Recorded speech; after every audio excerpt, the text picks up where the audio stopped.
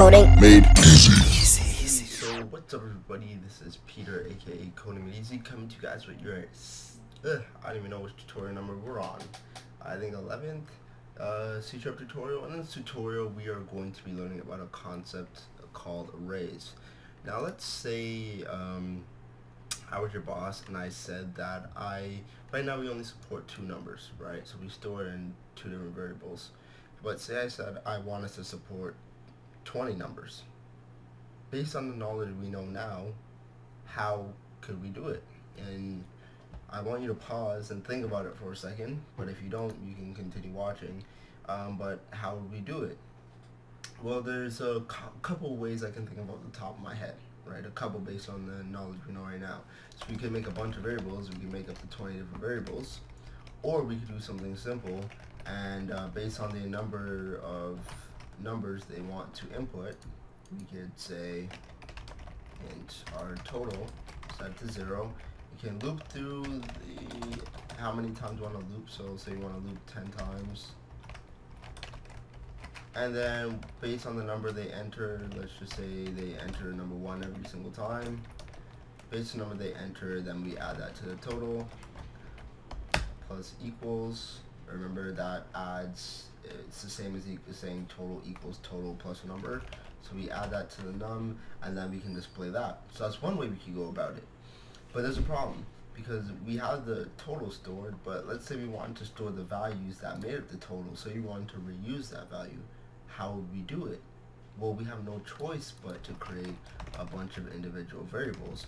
So this works for for one one way, if you just want to add a bunch of values and just get the total, that's fine. But if you want to store the values that made up the total, that becomes a problem. And so based on our knowledge, we can only do it by creating variables. So let's say we made 20. So, or let's just say our boss wanted us to make five. So then we say number four, and then we say number five. Okay and that's fine. You're like, okay, you made it work, and you had um, you had a console out for every single one, and then you stored all the five, and you added them all together. Your boss is like, we don't want to support five, now we want to support 50. You see the problem? You have to add new variables every single time. But with arrays, we can store the same amount of variables under one name. And that's how we do so. So we put the data type, we put two square braces, or square brackets, sorry, and then put the variable name. Uh, sorry about that sound, I don't know if you heard that. And don't worry, you can put as much space as you want between it, but I like to put it right beside it. And so we say int, and this thing means represents that we have an array.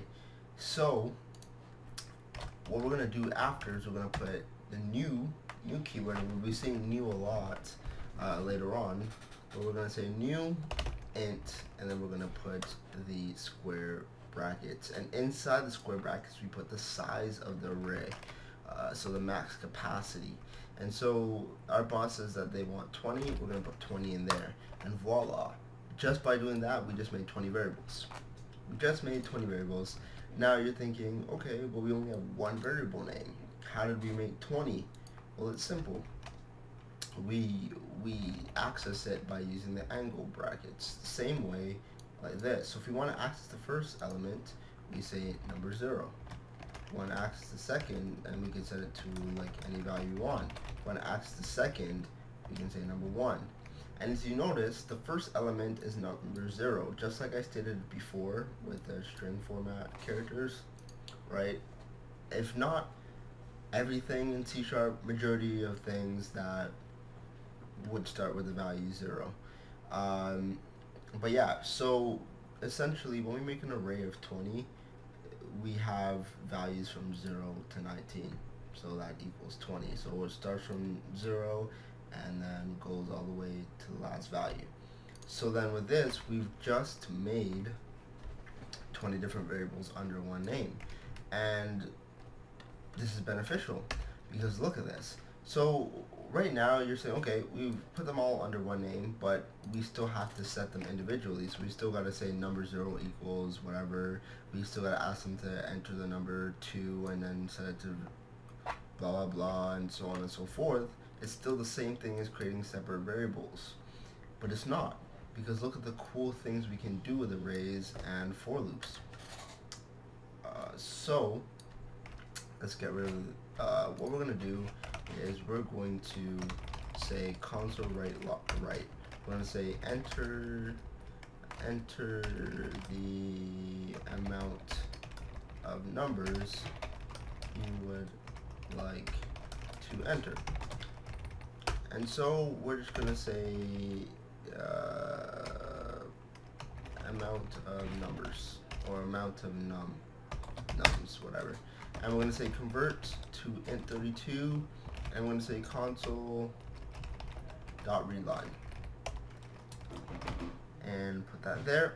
And so we get the amount of numbers that the user we want to enter, right? So now our program is a, a, bit even better because now we're not just restricted to 20 items or 100 items. They want to enter a thousand, they can say they want to enter a thousand, right? But how do we set it so that no matter what number they input, that we can hold it? Because right now our array only holds 20, but say we want it to hold 100 or hold a thousand. What you could do is you could make this array super big, an arbitrarily large number but the problem with that is that it takes a space in memory, unnecessary space that you probably won't use. So, using the power of arrays, what we're going to do is after they enter the num number, we could even do something like this. We can say number is equal to new int, and inside there we can put amount of nums, right? So no matter how much they enter, our array will be that exact size. And if you want to make this code even shorter, right, we can get rid of amount of nums right here and say number is equal to new int. Put the brackets here. And then whatever they enter will be the value like so. But I wouldn't really advise this because if they enter a value that's not a number, there's no way to really evaluate it and you would crash. So this way is the safer way because you can always do error checking on this value to make sure it's a correct value. Or if you want to limit the value, if you want only a particular range, you can always limit the range of it and blah blah blah. So this way is a safer way to go about it. So now we've set our array to the size of the number amount of numbers we actually want to enter. So now we're going to use our old friends the for loop. Sorry, I had to pause to do something quickly. But yeah, we're going to be using our old friends the for loop. So now what we're going to do is we're going to use our for loop and we're going to say i is equal to 0. I'm going to say i while i is less than amount of nums then we're going to increase i by 1. So this is going to loop through basically the amount of numbers they actually want to input. So if they want to input 10, it's just going to loop 10 times. And so what we're going to do is we're going to say console.write and we're going to say enter uh, number and then we'll put that and in here we'll put i plus 1 so what is it saying? It's saying it's going to say enter the number and it's going to replace this 0 with what's in here. What's i? I is going to be equal to 0 at first so 0 plus 1 is 1 so it's going to say enter number 1 when i increases to number 1 it's going to say what's 1 plus 1 2 enter number 2 blah blah blah so inside here, we're just going to say num, or like the number they're going to enter, or we could even do this. We're going to say number i is equal to convert 232 console.readline. So basically, it's going to say, okay, remember, the array starts at number 0. So it's going to say, okay, number, what is i? 0. Okay, the first number is going to be set to whatever they enter. The second number is going to be set to whatever they enter, and blah, blah, blah, blah, blah. And so we're to store all those values in there. And you know what? We're not even to add them right away. We're just going to comment this out with our block comment. And comment this out as well. And what we're to do is we're just to do another loop that loops uh, using the same thing, another identical loop. And notice that we can still use i because as soon as the scope is over, i no longer exists. So we can still create a new variable called i. So we're just going to print out what is in each and every variable. So we're just going to say number i. And we'll ignore the rest of the program. So how many numbers would you like to enter? We'd like to enter four. It says enter number one, and I, you know what? Sorry, I just put a colon and space there. Uh, enter the, I want to enter four. Okay, so enter number one, three, enter number two, seven, enter number three, eight, enter number four, ten. And so three, seven, eight, ten. So if you wanted to, we could even do, um, we could add them all together. We could say, let's just make a temporary variable called total, set it equal to zero. Oh, we already have a variable called total up there. Sorry about that. So then we'll just say total plus equals the number.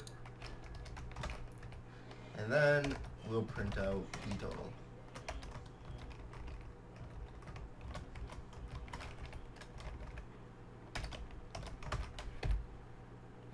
and we want to enter four numbers so and the total is 18 so voila there we go. So that is the wonderful world of arrays. So arrays allow you to store multiple uh, variables eh, under one name and it allows you to yeah it, the, the grouping in one name is what makes arrays so powerful. So I thoroughly hope you I hope you enjoy this and uh, thanks for watching. Don't forget to comment and subscribe and bye